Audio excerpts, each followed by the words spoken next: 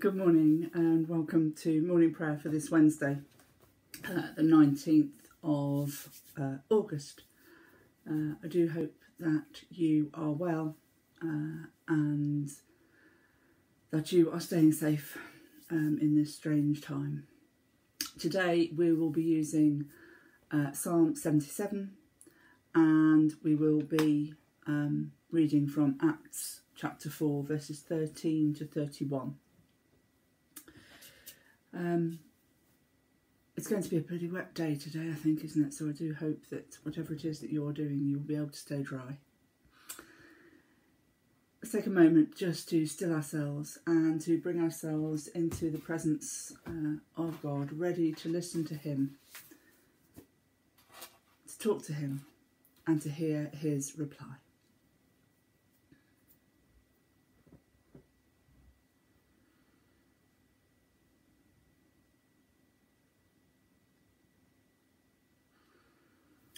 O Lord, open our lips, and our mouth shall proclaim your praise. O Lord, our Governor, how glorious is your name in all the world. Your majesty above the heavens is praised, out of the mouths of babes at the breast. You have founded a stronghold against your foes, that you might still the enemy and the avenger. When I consider your heavens, the work of your fingers, the moon and the stars that you have ordained, what are mortals that you should be mindful of them? Mere human beings that you should seek them out. You have made them little lower than the angels and crowned them with glory and honour. You have given them dominion over the works of your hands and put all things under their feet all sheep and oxen, even the wild beasts of the field, the birds of the air, the fish of the sea, and whatsoever moves in the paths of the sea. O Lord, our Governor, how glorious is your name in all the world. Glory to the Father, and to the Son, and to the Holy Spirit, as it was in the beginning, is now, and shall be forever. Amen. The night has passed, and the day lies open before us. Let us pray with one heart and mind.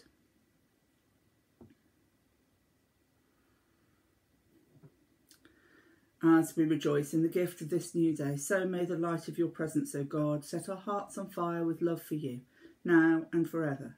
Amen. And so we turn to Psalm 77.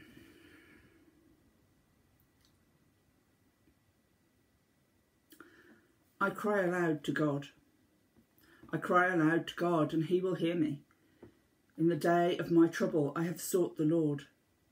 By night my hand is stretched out and does not tire. My soul refuses comfort. I think upon God and I groan. I ponder and my spirit faints. You will not let my eyelids close. I am so troubled that I cannot speak. I consider the days of old. I remember the years long past. I commune with my heart in the night. My spirit searches for understanding. Will the Lord cast us off forever? Will he no more show us his favour? Has his loving mercy clean gone forever? Has his promise come to an end for evermore? Has God forgotten to be gracious? Has he shut up his compassion in displeasure? And I said, My grief is this, that the right hand of the Most High has lost its strength. I will remember the works of the Lord and call to mind your wonders of old time. I will meditate on all your works and ponder your mighty deeds. Your way, O God, is holy. Who is so great a God as our God? You are the God who works wonders and declared your power among the peoples. With a mighty arm you redeemed your people, the children of Jacob and Joseph. The waters saw you, O God, the waters saw you and were afraid. The depths also were troubled. The clouds poured out water, the skies thundered, your arrows flashed on every side. The voice of your thunder was in the whirlwind. Your lightnings lit up the ground. The earth trembled and shook. Your way was in the sea, and your paths in the great waters. But your footsteps were not known. You led your people like sheep by the hand of Moses and Aaron. In the day of my trouble, I have sought the Lord. God, our shepherd, you led us and saved us in times of old. Do not forget your people in their troubles, but raise up your power to sustain the poor and helpless. For the honour of Jesus Christ our Lord. Amen.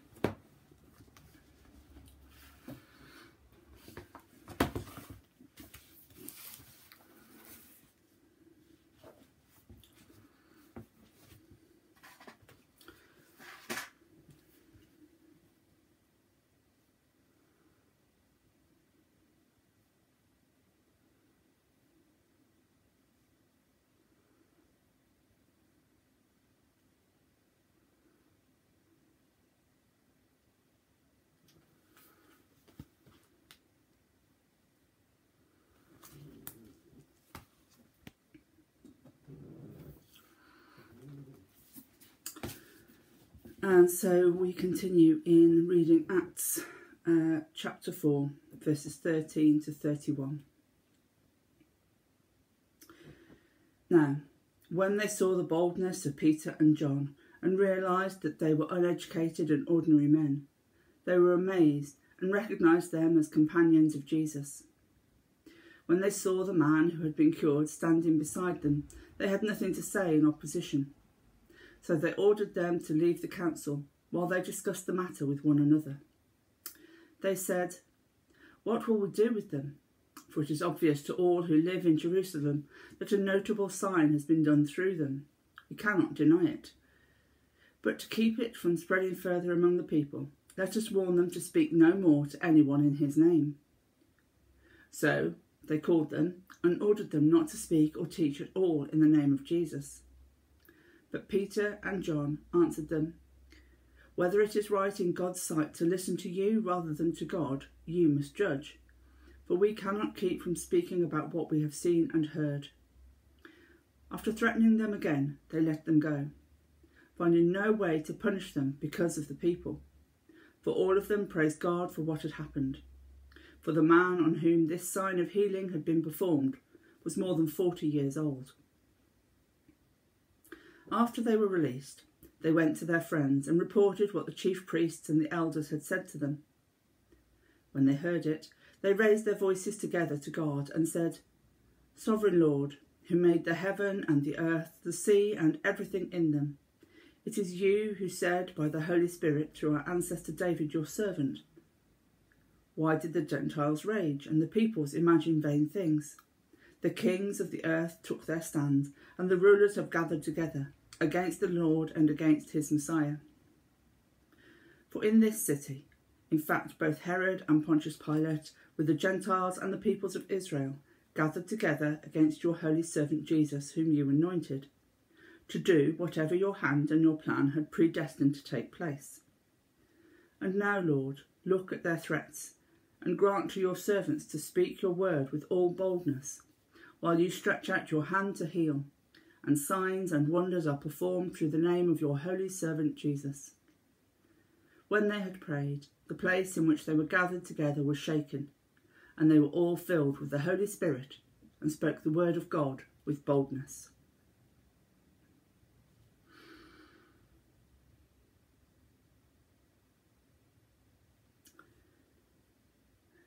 The apostles there trusted, trusted fully in God that preaching truth to power, as as is a phrase that we hear today, um, was the right thing to do.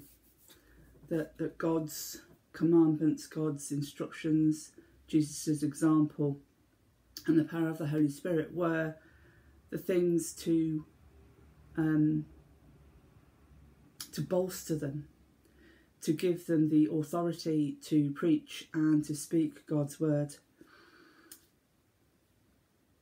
It's difficult, um, as we prayed yesterday, to imagine what it must be like in countries where uh, Christianity is oppressed, where people are fearful of their lives um, simply because they believe in God, in Jesus, and the Holy Spirit we are blessed.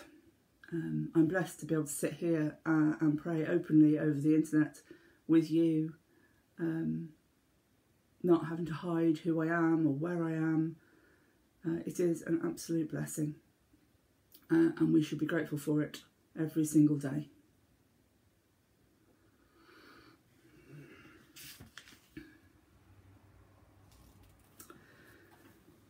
The Gospel Canticle is the Benedictus. Blessed be the Lord, the God of Israel, who has come to his people and set them free. He has raised up for us a mighty Saviour, born of the house of his servant David. Through his holy prophets, God promised of old to save us from our enemies, from the hands of all that hate us, to show mercy to our ancestors, and to remember his holy covenant. This was the oath God swore to our father Abraham, to set us free from the hands of our enemies, free to worship him without fear, holy and righteous in his sight all the days of our life.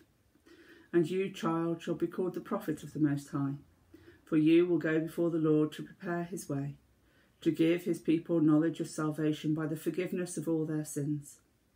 In the tender compassion of our God, the dawn from on high shall break upon us, to shine on those who dwell in darkness and the shadow of death, and to guide our feet into the way of peace. Glory to the Father, and to the Son, and to the Holy Spirit, as it was in the beginning, is now, and shall be forever. Amen. You show mercy to our ancestors, and remember your holy covenant.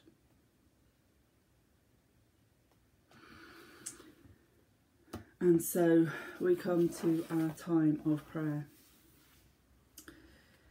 Uh, as has become my custom for a Wednesday, um, is just to leave some time of of silence for each of us to bring our own thoughts to mind, to sit, to meditate, to simply be uh, in God's presence, to listen to what is brought to our minds um, and what our uh, response to that is. The Diocesan Prayer Diary this today asks us to pray for the Protestant Church of Central Germany and also for the churches in Oklahoma in the USA and Bunbury in Australia. And the USPG Diary asks us to hold the creative, pray for more creative global solutions to challenge to face the challenges um, that refugees have to cope with. So just a few moments and um, of quiet.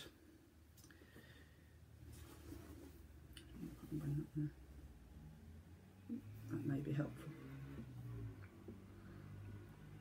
So let us pray.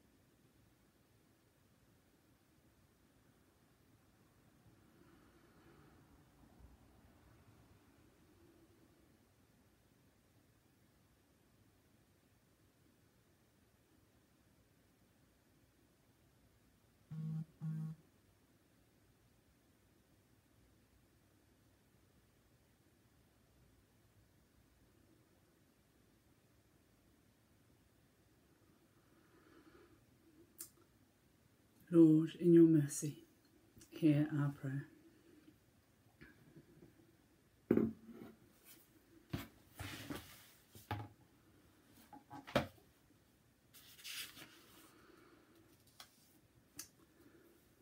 Almighty and everlasting God, we thank you that you have brought us safely to the beginning of this day. Keep us from falling into sin or running into danger. Order us in all our doings and guide us to do always what is righteous in your sight. Through Jesus Christ our Lord. Amen. As our Saviour taught us, so we pray. Our Father in heaven, hallowed be your name. Your kingdom come, your will be done on earth as in heaven. Give us today our daily bread. Forgive us our sins as we forgive those who sin against us. Lead us not into temptation, but deliver us from evil. For the kingdom, the power, and the glory are yours, now and forever. Amen. The Lord bless us and preserve us from all evil, and keep us in eternal life. Amen. Let us bless the Lord. Thanks be to God.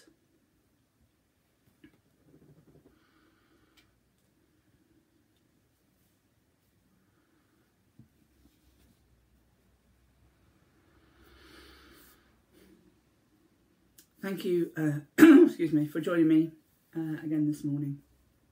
Uh, I do hope that you have a safe day, that you are able to stay dry, uh, and I will see you again tomorrow morning, hopefully without any more techno technical issues. And I do apologise to those who were on Facebook Live um, for the abrupt change. My computer has decided that it needed to restart today.